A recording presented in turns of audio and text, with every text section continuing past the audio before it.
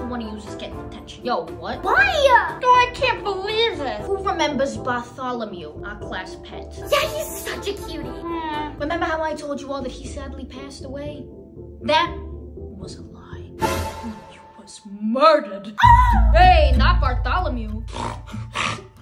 Shh. And I have even worse news. Jeffrey, our new class pet, has also gone missing. How does a fish go missing, bro? I have no idea. Milton, what is in your mouth?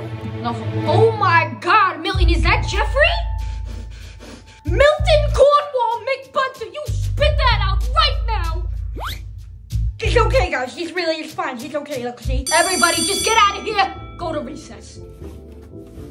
Except for you, Milton. What are you eating?